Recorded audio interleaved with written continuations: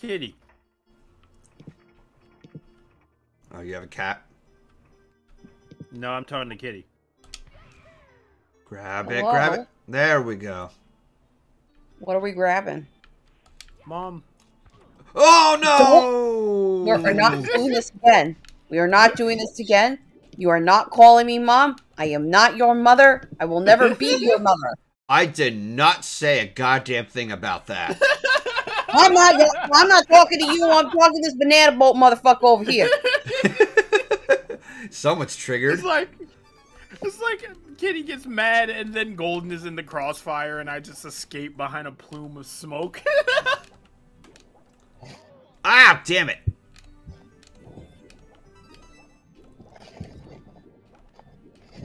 oh, the bomb is pink, Golden. You said it was green. You know what else is green? These nuts. You know what? If your nuts are green, you might want to get that checked out. Ah! What are we ah, doing, my ah, fellow dudes and dudettes and That duties? does that does not feel comfortable. Jesus, Derek. Golden is playing Nintendo 64, Mario 64. How are you doing, my fellow kids? Uh, I'm fine.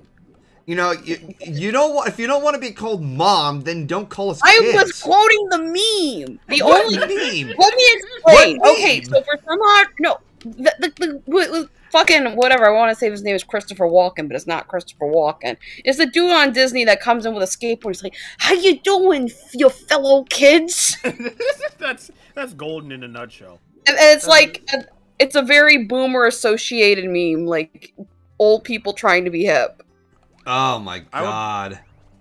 I, I somehow imagine money. I somehow imagine Steve Buscemi doing that kind of shit because I saw a picture of him with a skateboard and he was wearing like similar outfits, like um.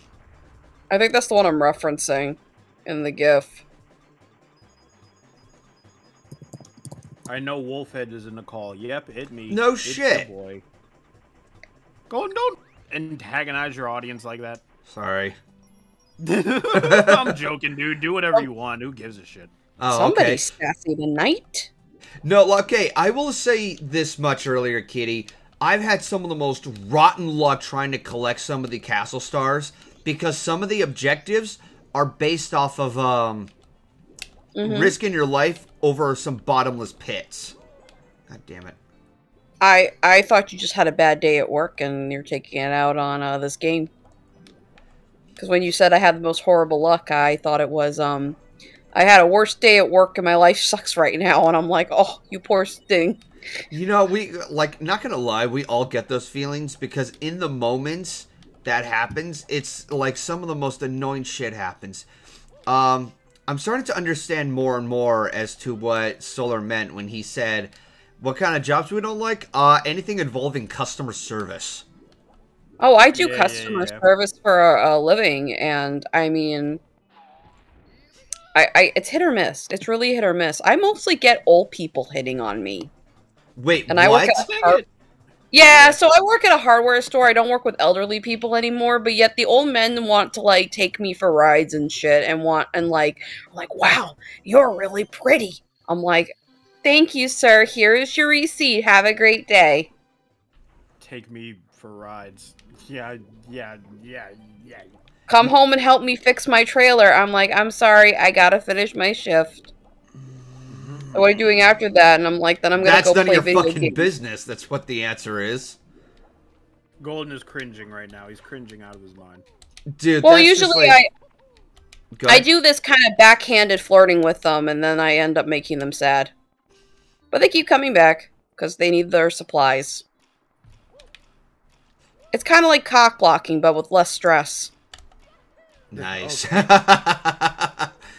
no, like the kind of customers I get are the ones who always want things their way or the highway. You know, those type of people. Oh yeah, I know those cunt bags. Yeah, no, because it's like I've already shared a couple of my stories before with a few people, and like uh, Deaf Horse also works at a supermarket, and um, one of the examples is like he was uh, some customer was asking for a particular product that uh, Deaf would not be familiar with, and he's not used to helping people with random exotic items.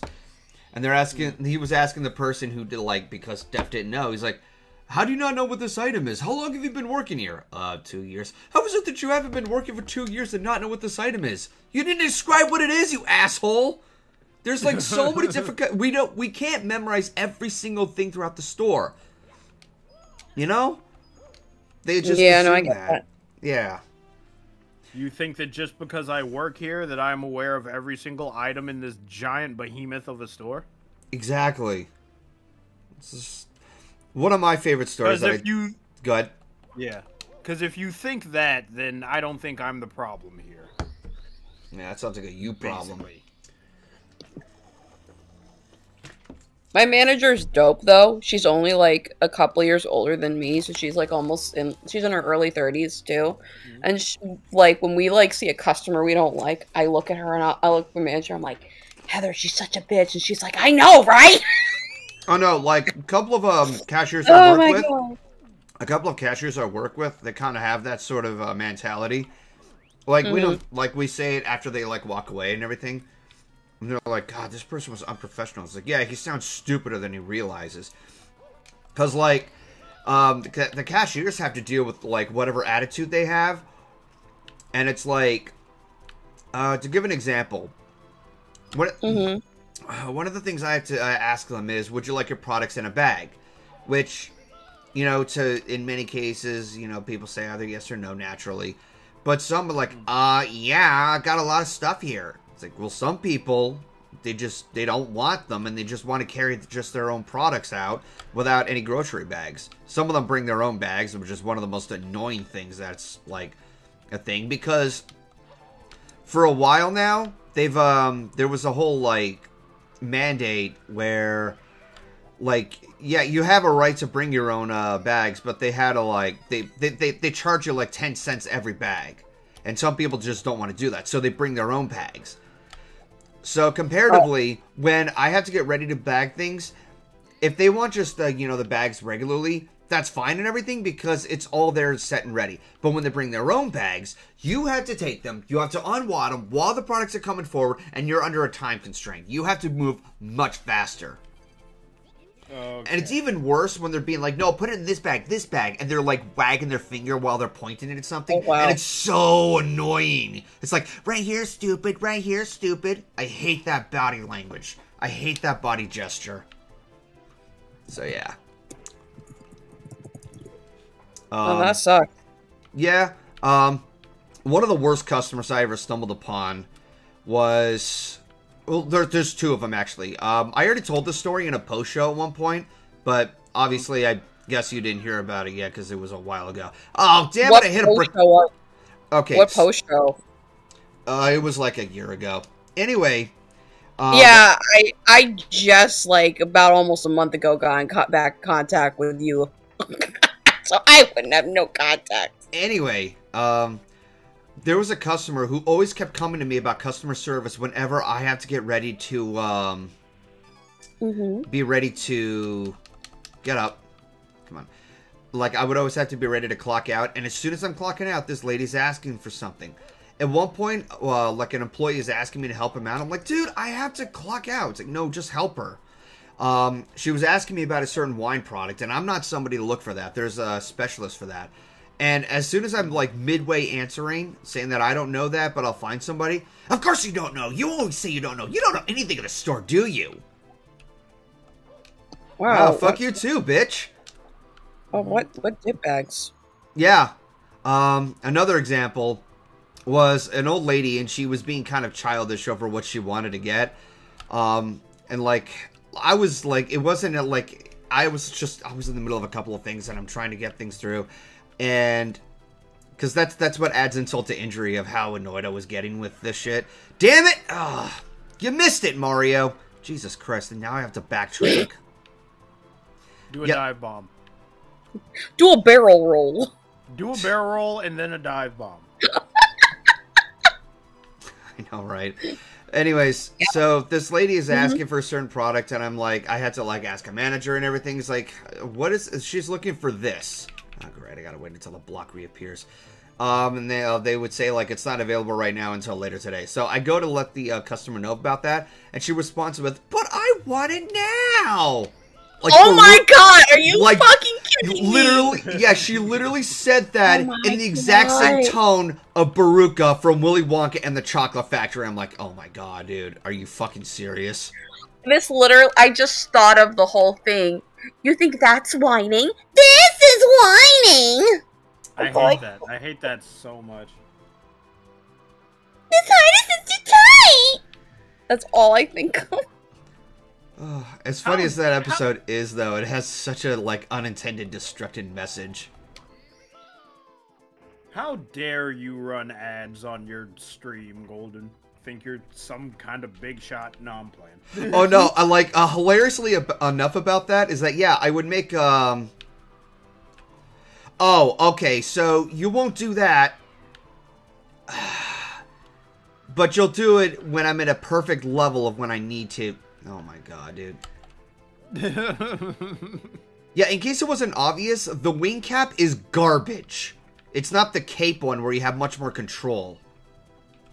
Mm, the cape one is from Super Mario World, right? Yes. okay.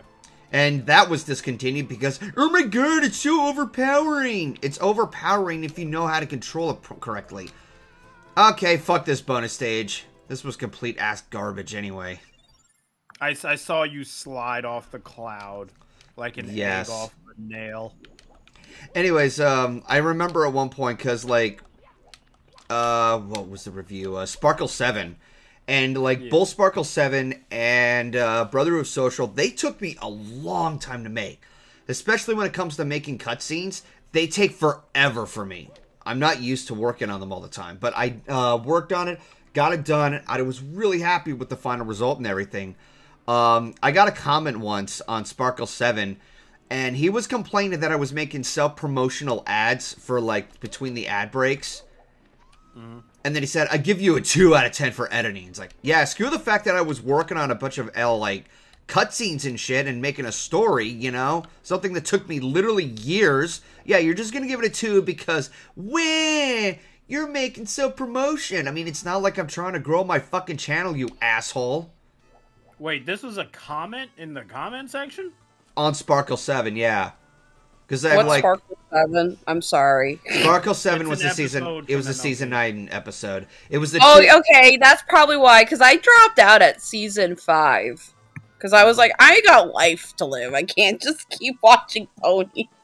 I can't Even be though a I- brony. I'm not saying I can't like be involved in MLP, but I'm just saying that like I just got like, all right, I'm I'm just gonna, I I just it was getting like too much. And I was like, I got stuff to do, so I just stopped. Me and my husband, we just stopped. But we did watch the final episode. It was really weird Mm. for us. It was very like surreal. Like, oh, it's actually over. Everything must come to an end at some point. I mean. Oh yeah, like I know, but it was Damn just it. like, oh, it's actually over. At least they ended on a better uh, note than you know most like finale episodes of character arcs. Because I still like. What? I, I, I'm just saying, I still like G1. I don't care what anybody says. It's one of my favorites. Did you grow up watching a lot of G1? Yeah, I, I was born in '91, so I grew up with a lot of the older shit. So I, I'm more familiarized with it. The only things I, was born saw 90 with. Oh, go ahead. I was born in 91 as well, and uh, I I wasn't aware of MLP until recently, until relatively recently anyway. I mean, I'm old. Join the club. I know. I just hit 31. But anyway, no, anything involving G1. I watched uh, Rescue at Midnight Castle was decent. The pacing was all over the place. Um, that that was an that's a classic. How dare you? Oh, you you. you Kitty, you're gonna hate me if like because at some point I would have to review their '86 Pony movie. Hated it so that, fucking that was bad. no, that was just weird. That was just weird. Uh, It was a weird, movie. No, like the It thing was. that Uh, you had a fucking ship that looked like giant tits floating across some purple cum. How word can you get? um, what? how What worse that? can you get? Uh huh. A spoiled fucking child for a main protagonist. Lickety split. I wasn't- hated her. I She wasn't hated her. spoiled. She was like I need to be the center of attention because I need to be the center. Look, she was a, a, starving actress. She wanted to be the center of attention. That's literally her a- mo. Okay, So she decides to run away when people call because her out. when you're young and you're not getting paid attention, you think running away is the best answer. Yeah, and guess what? She undeservingly got rewarded that rainbow power. She didn't do jack shit.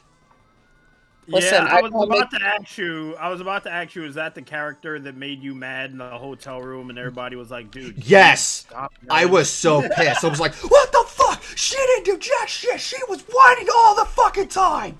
It. Th- uh, I threw my voice out. I was mad.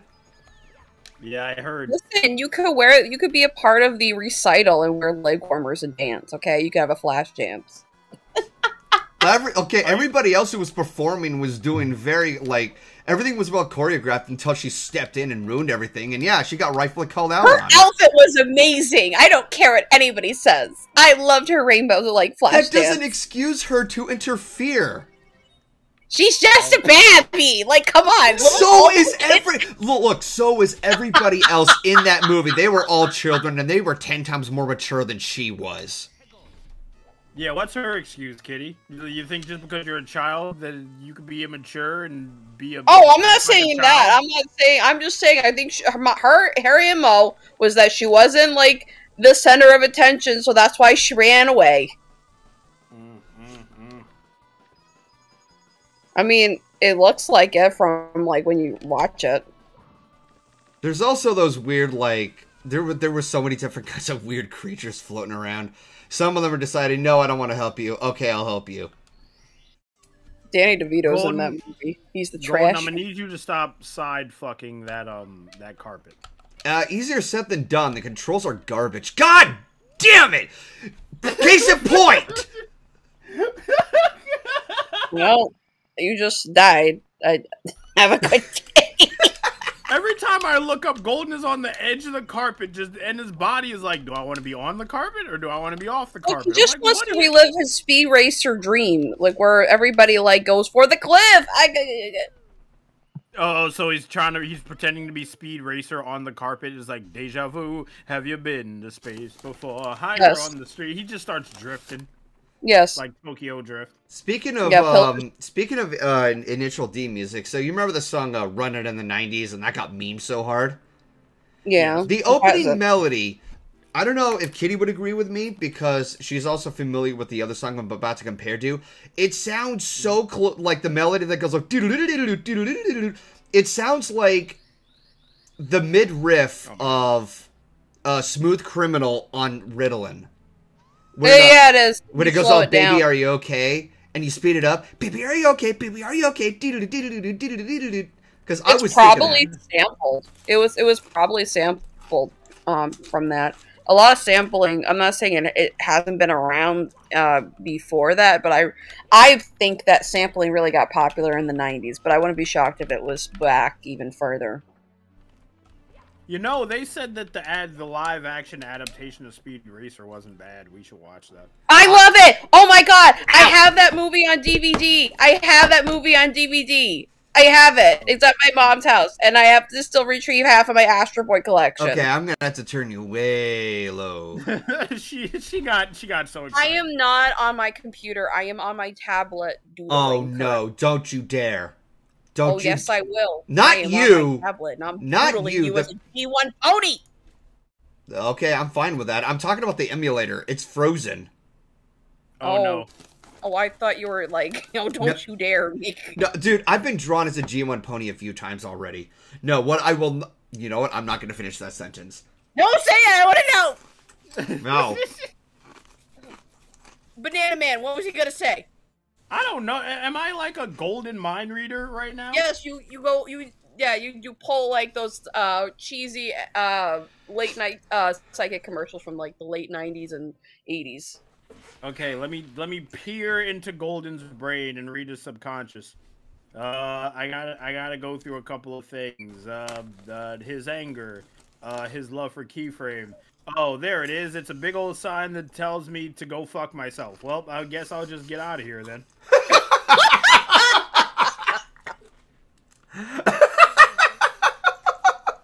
Oh my god.